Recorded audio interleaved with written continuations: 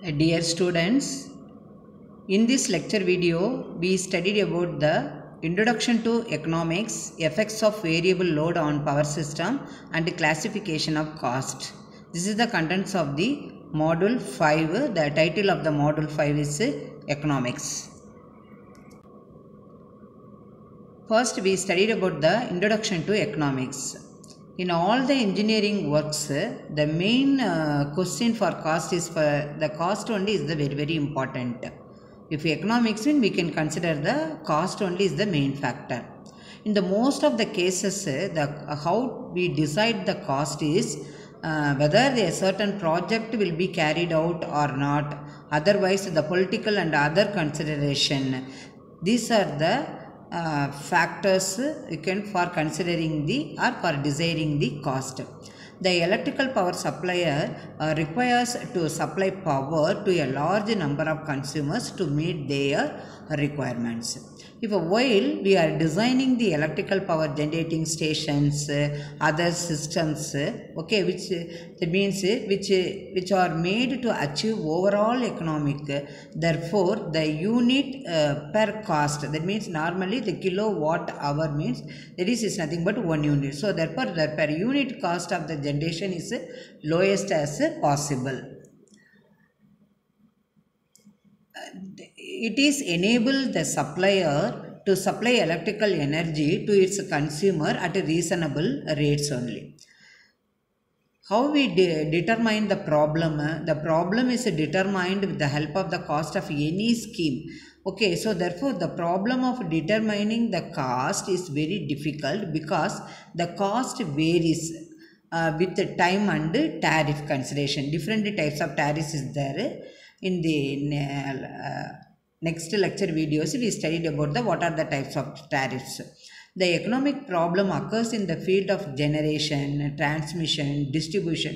You know because power uh, system means it consists of three parts. One is generation part another one is transmission part another one is distribution part uh, so therefore the economic problem occurs in the field of generation transmission distribution and utilization of electric power.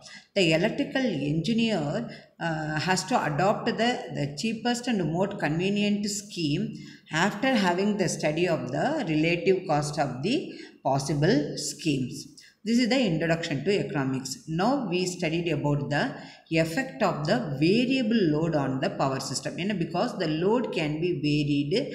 That means with respect to time only is not a constant for throughout the day. Okay the first effect is the generation of power becomes costly. Okay for optimum operation means the alternator. Because the alternator only is used to generate the power. So therefore the alternators are designed in such a way that the maximum efficiency occurs uh, at their rated capacity or very close to their rated capacity. So, uh, suppose the load varies and it becomes low, the alternator or the generator will not be loaded up to its rated capacity and its working efficiency is reduced. If efficiency reduced means the lifetime of the generator also reduced. So, this consequently increases the, the cost of production. This is the first effect. But the second effect is the increased losses. Okay, the due to the variation in load conditions. And because for um, for example, the load can be very early morning one load, late morning one load, late evening one load, midnight one load. So therefore, the due to the variation in loading conditions, the various machines like uh, transformers, electronic devices, and other machines, so increased losses due to magnetization characteristics, saturations, and variation in the parameters. Okay, this uh, decreases the overall efficiency of the uh, system. The third effect is a difficulty in controlling the system. Can control the system is very difficult, you know, because when the load changes, the frequency of the system also vary. You know, because load vary, load current increases, so therefore the frequency also vary. For proper operation, we have to get from the power system means the frequency must be within the permissible limit. For India, we have to maintaining the 50 hertz. For US only 60 hertz. So we have to maintaining the 50 hertz for getting proper operation from the power system. Uh, with the variation of the load. In order to keep the frequency within the limits, the additional control equipments are, are required. So, such equipments will increase the cost and then uh, complexity of the system. So, therefore, the additional equipment requirement is needed for controlling the system. The variable loading necessitates the use of speed governors, uh, voltage and frequency sensors. In the voltage and frequency sensors only senses the uh, actual frequency and voltage. The microcontrollers and other closed loop control equipments to assert control over the system and maintaining all the parameters within the ranges only.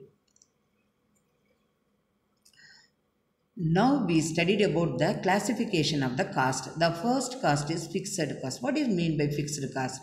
This cost is nothing but independent of the maximum demand and energy output. Maximum demand is the maximum load of the consumer.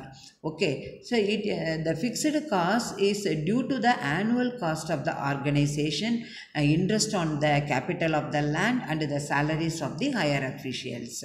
The annual expenditure on central organization and the salaries of the high officials is fixed because it has to meet whether the plant has a high or low maximum demand or it generate less or more energy. So therefore the capital investment on the land is fixed. So therefore the amount of the interest is also fixed. That's why this cost comes under fixed cost category. The next type of the cost is semi-fixed cost. This type of the cost depends upon the maximum demand but independent of the energy output. Independent of the energy output.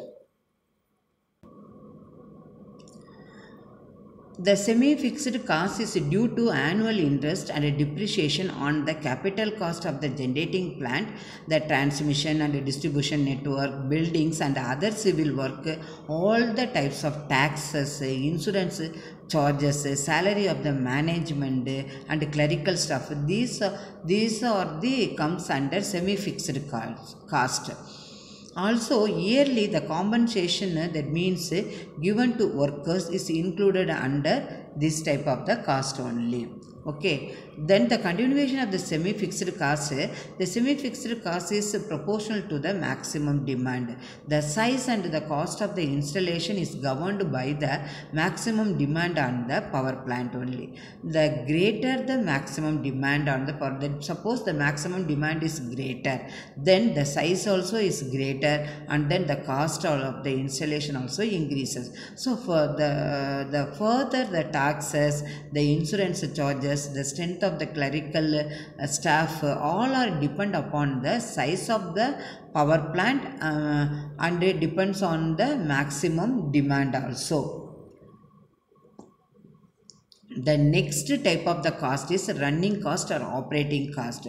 The running cost or the operating cost depends upon the number of hours and then the plant is in the operation or that means the number of units of the electrical energy is generated. The running or the capital cost is due to the annual cost of the fuel, lubricating oil, water maintenance cost, repair cost and then um, wages and salaries of uh, operational and maintenance staff and then salaries of supervisory staff. Uh, th these are the cost comes under running cost or operating cost.